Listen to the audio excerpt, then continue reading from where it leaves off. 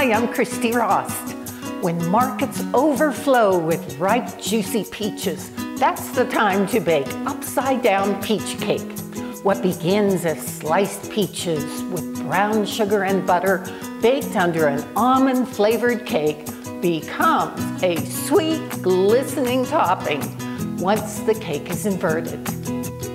In a bowl, I have one cup plus two tablespoons of flour, and I'm adding one half teaspoon of baking powder and one half teaspoon of salt. And then I just stir these together.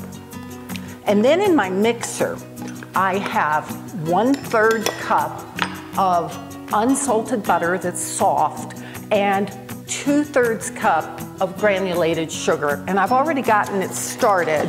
I'm going to add in the last bit of sugar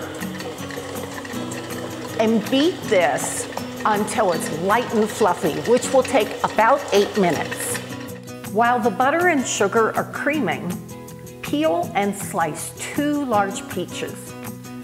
Place the peaches in a pan of boiling water for 30 to 45 seconds. Then transfer them to a bowl of ice water the skin will easily peel off so you can slice them. Once the butter and sugar are light and fluffy, then add in one egg and one teaspoon of vanilla and just a quarter teaspoon of almond extract. Little bit goes a long ways. Then mix this again until it's really light, and that'll take several minutes. Now I add the flour mixture to the creamed mixture a little bit at a time, and I'm going to do this alternately with the milk.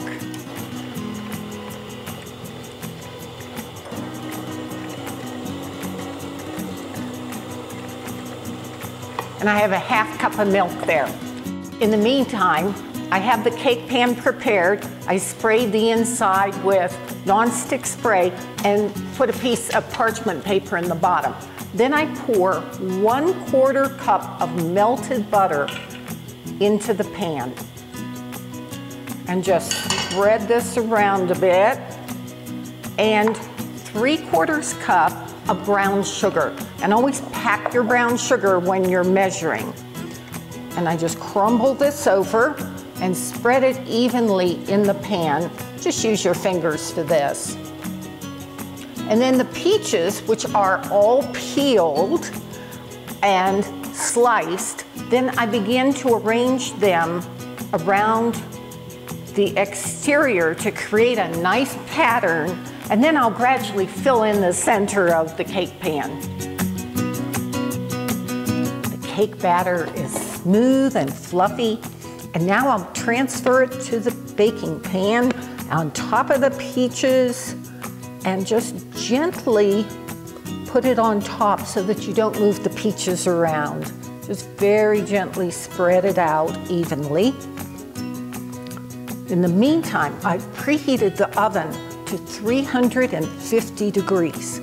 I'm going to bake this cake for 35 to 40 minutes or until a cake tester comes out clean when inserted in the center. So here we are. This is set. And I always give it just a little, couple of little bangs on the bottom. And so once the cake is baked, then you remove it from the oven. Here, let's get this in here. Okay. Remove it from the oven and set it aside for about 30 minutes to cool. It should be just warm at that point. Then take your cake platter, put it on top of your cake and invert it. The cake should drop out. If it doesn't, just give it a couple of taps on the top. The cake will drop out. Then you can remove the parchment paper and all those beautiful glistening peaches will be right on top. Cool it until you're ready to serve. Upside down peach cake.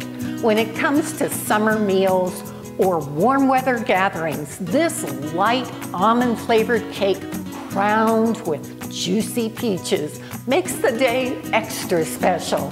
Take care, bake some joy.